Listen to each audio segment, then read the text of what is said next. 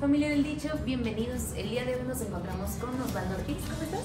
Hola, muy bien, ¿ustedes? ¿Cómo Bien, están? también. Oye, Osvaldo, en esta sección Conecta con tus ángeles, nos gustaría saber si tú tienes algún angelito allá arriba que te cuide, que te proteja. Pues sí, sí, sí tengo, sí tengo uno. Eh, pues tristemente sí tengo uno. ¿Es, es. familiar tuyo, amigo tuyo, Sí, sí, es, es familiar.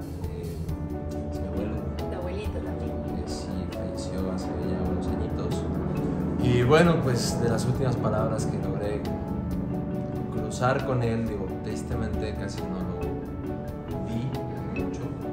¿Estaban distanciados?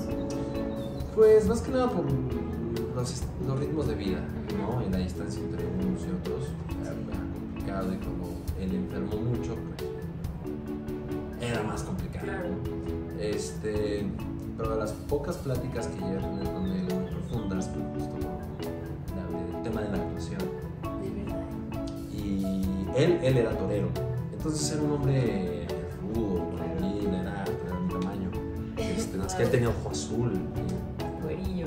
Sí, no güerillo, pero sí ojo azul, entonces me hubiera encantado tener los ojos de la abuela. Y justo uno de sus consejos fue eso, ¿no? Eh, eh, a él, por ejemplo, a pesar de que hizo cine con, con, este, con y con otras figuras del cine de oro, eh, le daba miedo a la. O sea, y el toro no. Ajá, los toros no. Qué curioso, ¿no? Sí. Y, y pues su consejo fue ese, el- el- que no cometiera lo- los, los, los- los errores que él hizo, ¿no?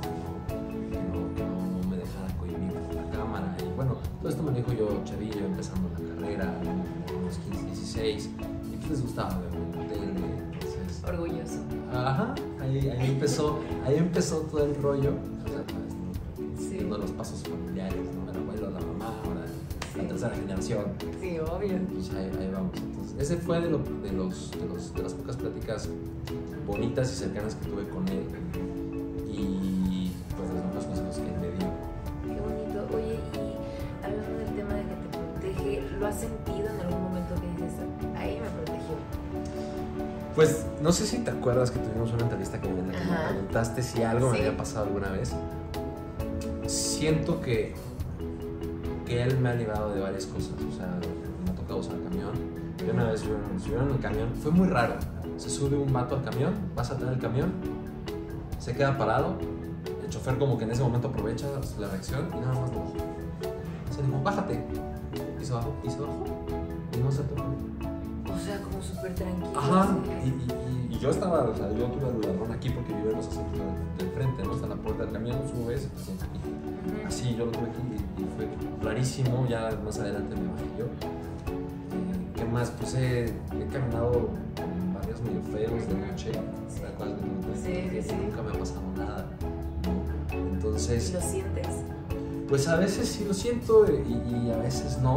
Siento, confío más bien en que pues, él desde arriba cuida a toda la familia eh, cuida a sus hijas, este, porque él siempre fue muy así. Carácter rudo, pero cuida a la familia. Claro, protector. Exacto. Y pues a sus hijos, a sus nietos. Entonces como que sí, sí está ahí presente de alguna forma. Oye, ¿qué edad tenías cuando él pasó a mejor vida? Pues yo ya estaba grande, tendría como unos 23, 4. Ok. O Más sea, o sí te vio crecer, sí vio tu carrera. Sí, sí, y él me veía y él, y él me decía, échale ganas cuando vamos a ver crecer en películas, en esto, ¿no? Entonces, pues ahí, ahí, ahí, es como ese empuje, ¿no? Que Claro. está ahí presente. Siempre que creyó en ti. Sí, Qué bueno. sí, sí, sí. Te digo, siempre estuvo, pues, como que con él se abrió ese camino, después llega mi mamá con el concurso de Miss, luego la primera especie de Televisa, tiene su época de oro también mi mamá, y pues vengo yo a, ser la tercera generación. Oye, qué bonito. Yo creo que la única cosa más linda ¿te gustaría decirle unas palabras a, a tu abuelito? Si está aquí con nosotros, si lo puedes, si... Pues sí, la verdad, todos mis primos, que los, los más cercanos a él, tienen siempre anécdotas muy bonitas con él. Yo tristemente, por lo mismo de la distancia y de las situaciones que pasaron, no, no las tengo, pero me hubiera encantado mucho poder vivir ciertas épocas con él que son memorables, que viven, viven en anécdotas de toda la familia. Y pues nada más decirle que, que lo extraño y que me hubiera encantado mucho poder, haber compartido con él más, más cosas y más experiencias. Qué bonito, mi Osvaldo. Pues yo creo que él sigue compartiendo contigo todos los días y te acompaña todos los días. Y ahora que ya que la novela, que no sé qué, pues mira, Ah, siéntate sí. un poco ahí. Ahí anda, ahí anda presente, presente el abuelo. Muchas gracias por conectar con nosotros, de verdad. No, hombre, gracias a ustedes, saben que yo los quiero mucho y también son parte de mi familia. Los queremos muchísimo y recuerden, conecta con el bicho.